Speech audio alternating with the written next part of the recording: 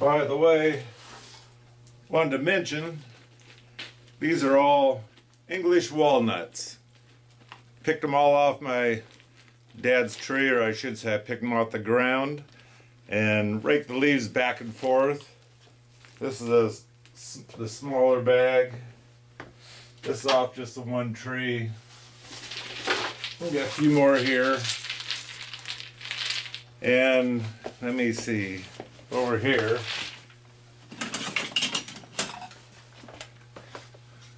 I use this thing.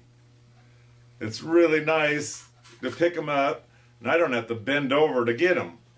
So anyway, uh, I got them all picked up and there's lots of leaves falling off the tree and the day the next day dad went over there and mowed and tried to get the leaves moved out of the way, chewed up anyway.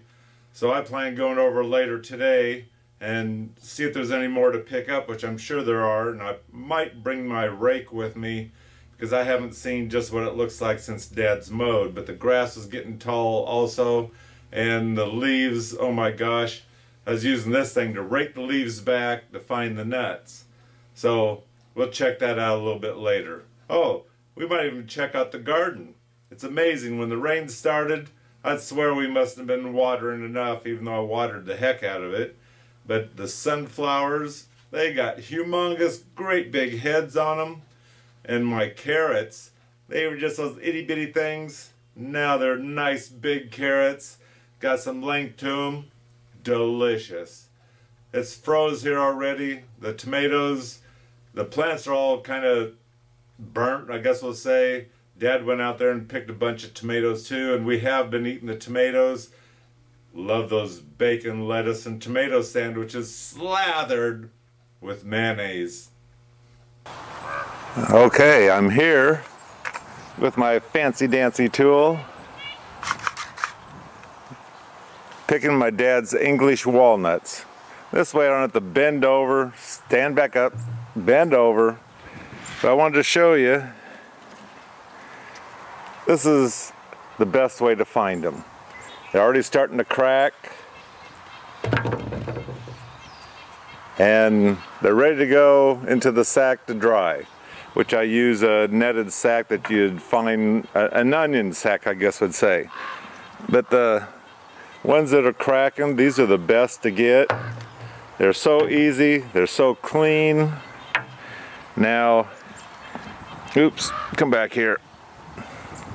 This one's not too bad, but you'll see that it's already drying with it. I don't like that because the green side comes off real easy. The rest of it is hard to get off. And the only reason why you're taking the husk off is to get the nut to dry faster. I'd rather find them on the ground like this. I brought over a few of them that I haven't pulled the husk off yet like I say it's hard to get off and they already turned black. And they're kind of I don't know the best word to use but I'll just say they're snotty when they're wet. And you really start as you can see I'm already starting to turn black. That's why I say the nice green ones are already starting to crack. They just pop right out. So when the nuts become ripe you need to get out there as they fall and hopefully that's what you'll get. Sometimes you find them just laying on the ground already husked for you. Other times you find them where they tried to get out but couldn't. And like I say, that, that husk in so many words doesn't matter too much because you're interested in the nut inside. So anyway, like I say, when they when they start getting slimy or whatever, I'll set them on the ground and roll my foot on them. I have a tennis shoe to get that husk off of there. Or if I have way too many, I won't even care about them. Eventually that husk will fall off and you'll find them on the ground if the birds don't get them first. See that how nice they peel. These are the English walnuts. My dad's got two trees. I videotaped them earlier this spring, I think when I was talking about the garden. And the one, oops, the one tree bloomed out with leaves and everything first, and then the second one finally did. Well, I wasn't paying attention to, to the trees, and the first tree that bloomed out the leaves, those were ripe a month ago. I didn't realize it. Now they're all this black stuff like this. And I don't want to deal with them. And just for myself, there's plenty of nuts on that coming off that tree. I don't have to worry about those old black ones. Beautiful green ones just popping right out. Now my sister-in-law, which I might do if I get the time, see how this one's all dried up on there? It's coming off better than normal.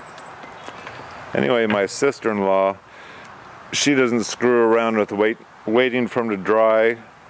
What she'll do is she'll crack them open, take the nut out, and let them dry that way. And the best way actually then is to use a food dehydrator uh, to let them dry because if you put a bunch of them that have been cracked open they'll start to mold because they're still wet they need to dry out a bit so they don't rot anyway I threw a bunch of these in my bucket just to show you and oh by the way you notice the shape I want to call it an egg shape it's not quite an egg shape and the only reason I'm bringing that to your attention is because I have a black walnut tree.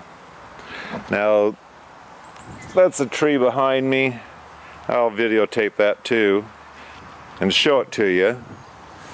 See, actually the husk is following that nut. It's that shape. But uh, I'll show you that black walnut tree.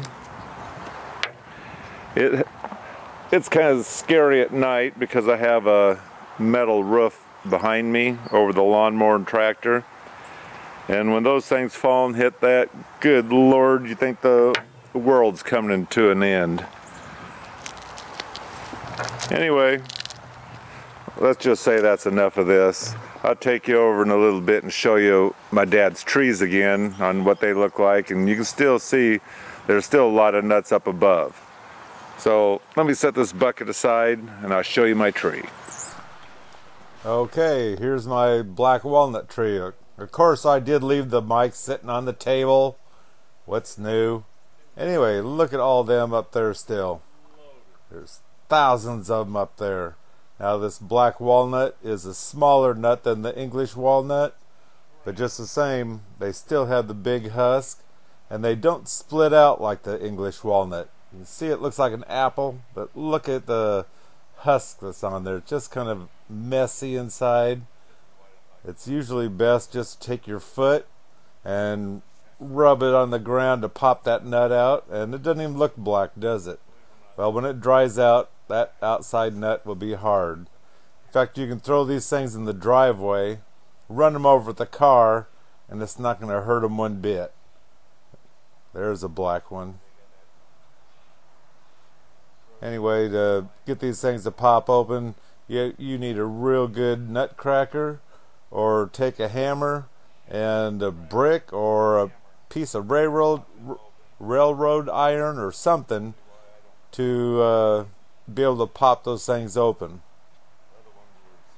see these things are just kind of gross. Normally what I do is I'll pick them up after smashing the husk off. I'll take them, dump them in the yard, and hose the heck out of them.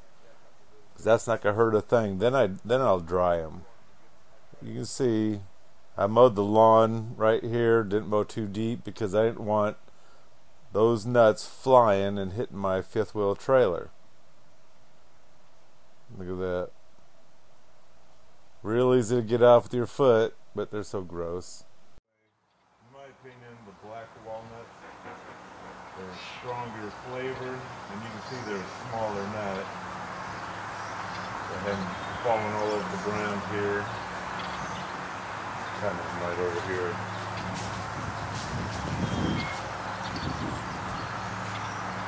Anyway, I'll dry these up I think. I think I'll dry these up and do a comparison a little bit later. in the year. Look at them nuts. Okay, so let me take you over to my dad's. Show you his English walnut. Okay, these are my two, my dad's two English walnut trees. They're the ones with all the leaves left on them. And then my dad's got the two black walnuts that are right there with all the leaves off of it. And they're still dropping nuts all over the ground, which is uh, frightening when you're over here picking up the other nuts because the birds go up there and they start playing with those black walnuts up there and then they start falling like rain. Can you imagine those things hitting you in the head? There goes one now. So anyway, I got all these pretty much picked up. There's one. Oh, it's a bitty one. That's what I usually look for. Or get them when they have their husk. And over here, again, you can see all these nuts laying all over the ground. So I don't care for the black walnuts because they're difficult to get into unless you have a hammer and a brick underneath or better yet a steel piece of railroad track or something. It, so it, once they've rotted off good, you can get those out of there.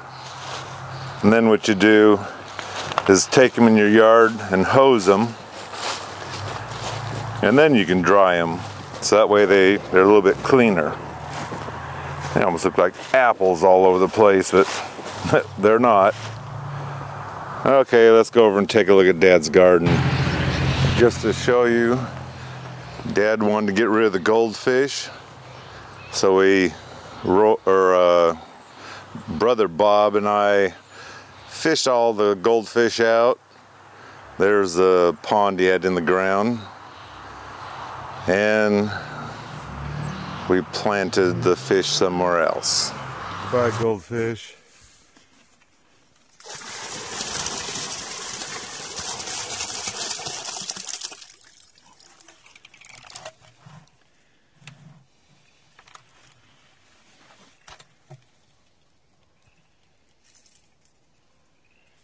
There, you can see them in the water there. Oh yeah, they're all straight down there. They're all in shock. yeah,